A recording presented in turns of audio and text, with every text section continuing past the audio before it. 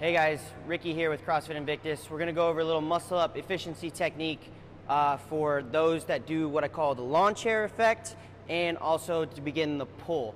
All right, I call this the soccer ball, uh, kicking the soccer ball. Rotating to the hip. New runner.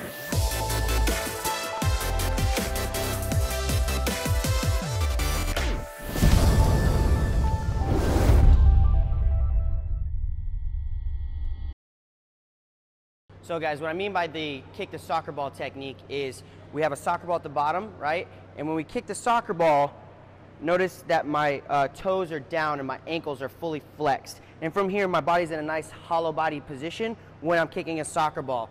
So right, we're here at this position. From here, I'm going to begin my pull on the muscle up. All right, so that allows your feet to just stop there and begin to pull. That'll help close, not close yourself for the lawn chair position and begin the pull. So it'll look like this. I'm going to imagine that there's a soccer ball directly beneath the rings, right? I'm Going to go ahead, jump up right here, kick the soccer ball and begin my pull. If you notice, you'll see my feet stop as soon as I kick the soccer ball. Otherwise, it'll look like this, right? We have those people that come up and and their feet get stuck up here. All right? So go ahead, use that inside either your muscle up technique or coach's technique as well and have people better proficiency in the muscle up.